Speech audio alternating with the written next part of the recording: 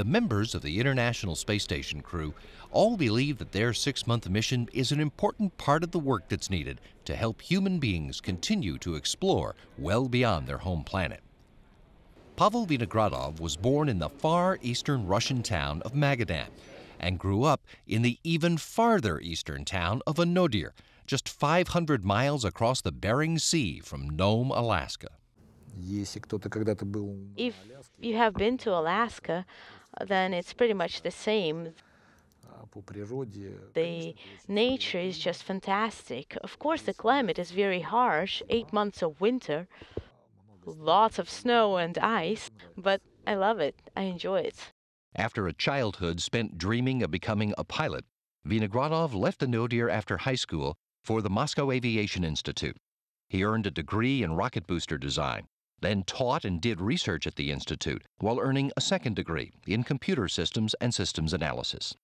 Vinogradov joined the design bureau of the Rocket Space Corporation Energia in 1983 and worked on the Mir space station, the Buran shuttle, and other Energia vehicles before being selected to Energia's Cosmonaut Corps in 1992. He logged 198 days in space as the board engineer on Mir 24 and made five spacewalks to repair Mir after a Progress freighter punched a hole in it in the summer of 1997. He made one more spacewalk in 2006 as commander of the International Space Station's Expedition 13, a 183 day mission that restored the station's crew complement to three. He believes today's space exploration efforts bear comparison to the sea voyages of the great explorers in the age of discovery. People who were exploring the Earth did not know what, that they will discover America in four months, for example. The risks were great. Um, but I have no doubt that likewise, we, as those explorers, we need to explore space. Retired Russian Air Force Lieutenant Colonel Alexander Misurkin is a product of Western Russia. Born in Yurshy in the Smolensk region and raised a couple of hundred miles away in Oryol. He calls his childhood a typical one and says even as a young boy, he wanted to go places no one had been to before. I wanted and decided to be a cosmonaut when I was a little boy. Uh, when I was a 13 years old uh, guy, I went to the aviation club. There I uh, made, made parachute jumping. Uh, there I was flying on gliders. Becoming a pilot was next on his list. After school in Oryol, Misurkin went to the Kacha High Air Force Pilot School in Volgograd, then finished his pilot training at the Armavir Military Aviation Institute in Krasnodar in southern Russia. He spent the next seven years in the Russian Air Force as a pilot instructor at the Krasnodar Military Aviation Institute before being selected as a cosmonaut in 2006. Misurkin shares the philosophical view of the Russian rocket science pioneer Konstantin Tsiolkovsky, who believed that Earth is the cradle of humanity, but that mankind can't stay in the cradle forever. He was positive that uh, we are going to the space and uh, we will live in uh, some in, in, other worlds, in other different places, and uh, it the time will come for this. I'm sure. That is why I think we should do this job. U.S. Navy Commander Chris Cassidy is a native of Salem, Massachusetts, who grew up in York, Maine, on the Atlantic coast. He was aware of the space program as a young boy, but admits he wasn't particularly interested. I was just like every other boy. I mowed, mowed lawns, had a couple odd jobs in restaurants and things in the summertime, but that was all to really pay my gas to drive to the basketball court. Cassidy left York after high school, first for a year at the Naval Academy Prep School, and then on to Annapolis, where he earned a bachelor's in mathematics. Next stop was San Diego to begin training in special operations as a Navy SEAL. After four years stationed in Virginia, he earned a master's in ocean engineering at MIT. And about that time, he became aware of a fellow Navy SEAL who had had a similar career arc to his astronaut Bill Shepherd. So one day I actually met him or called him, and uh, we had a, he gave me some great information, and I thought, you know what, that sounds really like a really fun job. I think I'd like to do that. So I was probably 26 or 27 when the first and the idea first popped into my head. Cassidy applied, but didn't get the call from NASA. The next year, just weeks after September 11th, the SEAL platoon he commanded did get the call, and he was deployed to the Afghanistan region before the 1st of October. He returned home to another posting in Virginia, and he was selected for the astronaut program in 2004, just days after coming home from a second deployment to Afghanistan. Cassidy made three spacewalks on his first trip to the International Space Station on the 2009 Space Shuttle mission that delivered the components to complete construction of the Kibo Laboratory Complex. He's enthusiastic about his part in laying the groundwork for some future generation of Earthlings to fulfill their destiny to find a new home in space. But there'll be a time when there'll be people living on other planets. And it's the work, the hard work that we're doing right now, all of us across the globe, that are going to set the stage for, for that type of environment. Just like Christopher Columbus set sail one day across the ocean. And thanks to those great explorers, we live the life that we do today.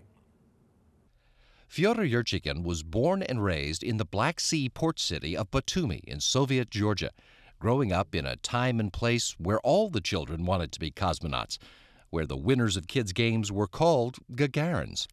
Yurchikhin wanted to be a part of that life, even if he couldn't be a dashing test pilot.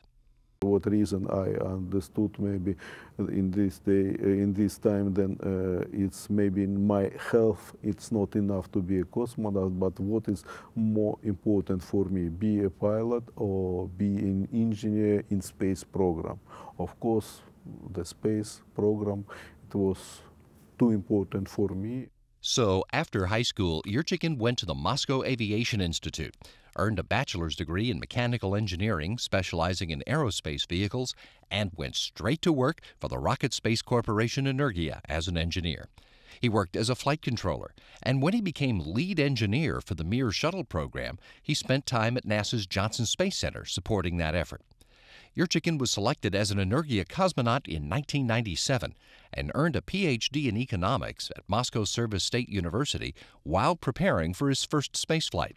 He was a member of the STS 112 crew that delivered a piece of the station's starboard truss during Expedition 5 in 2002.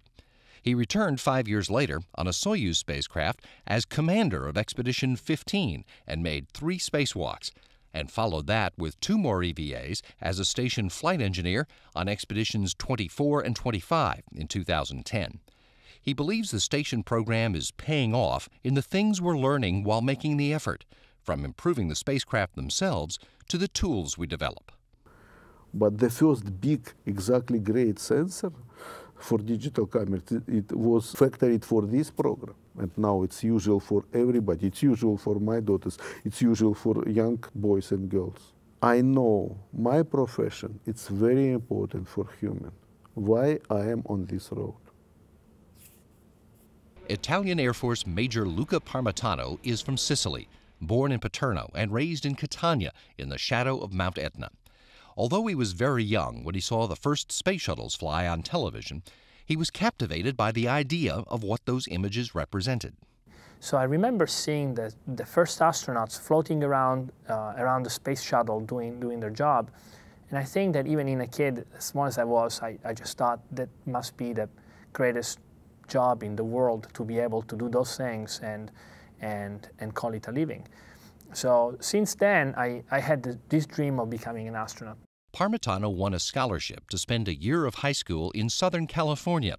In that year in America, he not only intensified his desire to be a pilot by living with a host family in which the father was a marine navigator, but he met the girl who years later would become his wife. Back in Italy, Parmitano earned a bachelor's degree in political sciences at the University of Naples and graduated from Italy's Air Force Academy. Then completed his basic training at the Euro NATO Joint Jet Pilot Training Program at Sheppard Air Force Base in Texas. After six years with a fighter squadron in Italy, he was sent to France to train as a test pilot and earned a master's in experimental flight test engineering at the Superior Institute of Aeronautics and Space in Toulouse in 2009, the same year he was selected for astronaut training by the European Space Agency. Now he's making his childhood dream a reality and fulfilling a desire to push the boundaries of human knowledge. That's who we are. That's what makes us humans. Uh, that is what makes us uh, different from all from the rest of the uh, of the animal kingdom. And if we don't follow our of our nature of being explorators, of being thinkers, then we are denying a part of ourselves that is incredibly important. Dr. Karen Nyberg was part of a big family growing up in the tiny town of Vining, Minnesota. And from the time she was a very young girl, she knew she wanted to be an astronaut, although she doesn't know why. She learned some solitary pursuits as a little girl. I've been sewing. My mom taught me to sew when I was probably five or six years old. I've been drawing since I was also that age. I used to, I would never sit in front of the television just sitting there watching TV. I always had a piece of paper and a pencil and was drawing or doodling or doing something. But she took advantage of being in a small town to join more school activities than most kids in big city schools join. I was on the basketball team, the volleyball team, the track team. I took stats for the baseball team. I was in the choir, I was in the band, I was in the drama club. I was able to participate in all of them, um, learn to be a team member. She went to the University of North Dakota to study engineering and learned about a program that lets students work at NASA's Johnson Space Center in Houston. Nyberg worked as a co op in Houston while finishing her bachelor's in mechanical engineering in Grand Forks and while starting her graduate work at the University of Texas at Austin. After she finished a master's and a doctorate in mechanical engineering in Austin, she returned to JSC, working full time in the Crew and Thermal Systems Division for two years before she was picked for the astronaut program in 2000, where she met her future husband, fellow astronaut candidate Doug Hurley. Nyberg was part of the STS 124 space shuttle crew that delivered the Kibo laboratory module and Japanese robotic arm to the International Space Station in 2008 and was the first person to ever operate the shuttle robotic arm, the main station arm, and the Japanese arm. She's confident this mission will appeal to the adventure seeker in today's kids. I think a, a, lot of it is based just on human nature, that we are all very curious people. Um, human beings like challenges, and this is an ultimate challenge